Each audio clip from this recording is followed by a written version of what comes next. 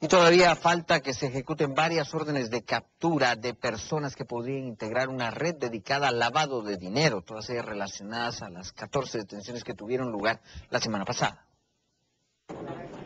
Los juzgados sexto y octavo de instancia penal confirmaron este viernes que aún falta por ejecutar 28 órdenes de captura por el delito de lavado de dinero. Las personas a quienes se persigue están vinculadas a una red dedicada a trasladar grandes sumas de dinero sin declarar a otros países.